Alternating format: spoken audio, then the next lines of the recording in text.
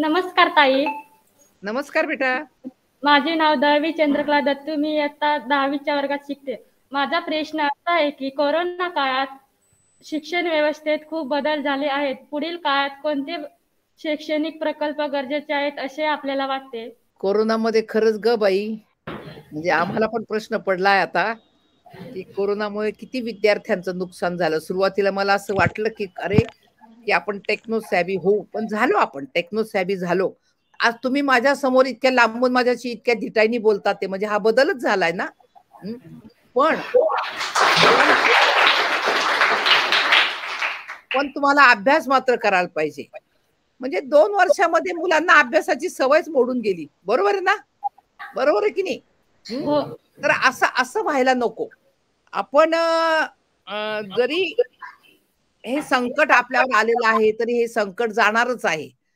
ह्याच्यामधनं एक चांगलं झालेलं आहे की आपण संस्थेला सुद्धा डोंगल असेल इंटरनेट असेल ह्याच्या सुविधा कराव्या लागलेल्या आहेत. आपल्याला सुद्धा सगळ्यांना आपण सगळ्या आई वडिलांच्या मागे लागले तुम्ही सगळे की आम्हाला मोबाईल पाहिजे मोबाईल पाहिजे की आम्हाला मोबाईलवरती लेसन स्टडी करता येतील अभ्यास करता येईल. त्यामुळे तुम्हाला आई वडिलांनी पण तुम्हाला सगळ्यांनी सगळ्यांना तुम्हाला अँड्रॉइड मोबाईल घेऊन दिलेले आहेत. एका बाजूने जर बघितलं तर जगामध्ये आय टी आणि कॉम्प्युटर क्षेत्रामध्ये आपले विद्यार्थी टॉपला गेलेले आहेत.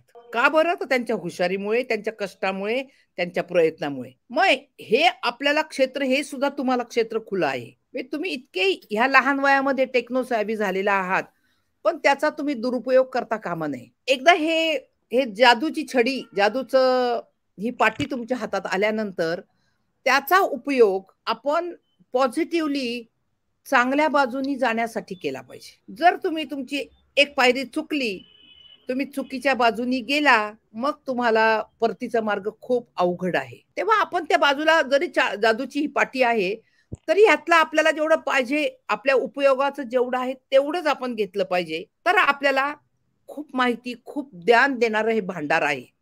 ह्याचा उपयोग जर आपण करून घेतला तर आपण खूप पुढे जाऊ शकतो. आपल्याला जग जवळ आलेलं आहे आज. वसुदैव कुटुंबकम म्हणजे हे जग हे आपलं घर आहे. ह? तर लक्षात घ्या की जेवढं ज्ञान तुम्हाला घेता येईल तेवढं त्या तुमच्या हातातल्या जादूच्या पाठीमधनं तुम्हाला घ्यायचं आहे. पण चुकीच्या मार्गाने जायचं नाही.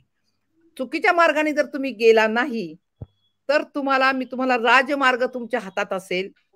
आणि तुम्हाला पाहिजे त्या संधी तुमच्यासाठी उपलब्ध आहेत. आणि प्रामुख्यानं एस टी कॅटेगरीसाठी आजही अकराशे जागा युपीएससी आणि एम पी एस सीच्या रिकाम्या होत आहेत. म्हणजे तुम्ही जर खूप चांगला अभ्यास केला ना तुम्ही जर युपीएससी सीचे जर क्लासेस लावले आणि म्हणजे तुम्हाला एक फर्स्ट क्लास जरी मिळाला ना तुम्ही अधिकारी होऊ शकतात. हा मार्ग तुमच्यासाठी खूप मोठा खुला आहे.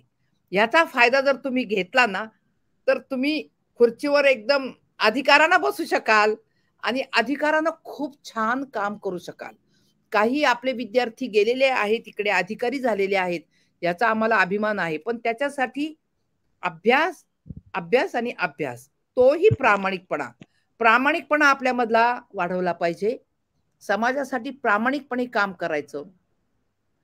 आपल्याकडे काय झालेलं आहे की आपल्याकडे खूप भ्रष्टाचार वाढलेला आहे. तर मीरा बोरवणकर नावाच्या महिलेची सुद्धा मी सरांना म्हणेल की तुम्ही मुलाखत मुलींसाठी घ्या.